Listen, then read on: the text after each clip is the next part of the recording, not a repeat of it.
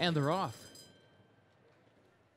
Tila from the inside, old fashioned gal toward the center of the course. Mojo Risen has early speed as well. Old fashioned gal to the lead. Storm and L moves up extreme outside, puts ahead in front, takes over three parts of a length from old fashioned gal in second, and Mojo Risen goes in the third position. Industrial Policy toward the outside is in fourth. Tila, fifth back toward the inside. Christie's Ready goes in the sixth position. Factory of Faith is in seventh. No Fault of Mine is eighth and last. The opening quarter went in 24 and one fifth seconds. Storm and L against the rail, leading Old Fashioned Gal three parts of a length. Tila third toward the inside, and then Mojo Risen, who's fourth back toward the outside, two and a half lengths off the lead. Christie's Ready is next toward the rail. Fifth position, four lengths from the front, joined there by Industrial Policy. Further back, Factory of Faith and No Fault of Mine at the midpoint of the backstretch. 49 and one fifth seconds for the opening half mile. Storm and L is the leader by a length to the far turn.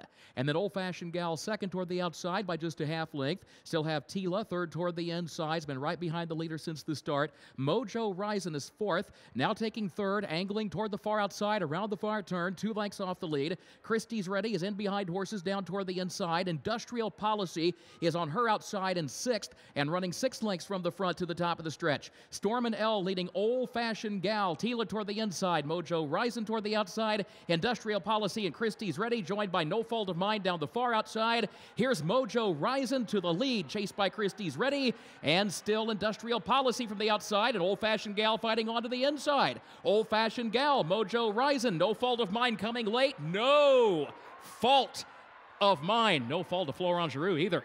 They win it. And then it was Old Fashioned Gal home second, close for third.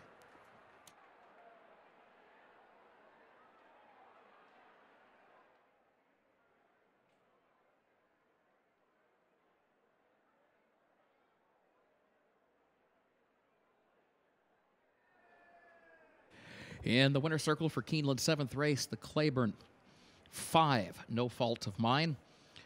Owned and also bred in Kentucky by Lothenbach Stables Incorporated of Robert J. Lothenbach, trained by Chris Block. Florent Geroux goes back to back. No fault of mine, a four year old filly by Blame out of single solution by Flatter. Mile and a 16th over the Keeneland course, one minute 44 and four fifths seconds.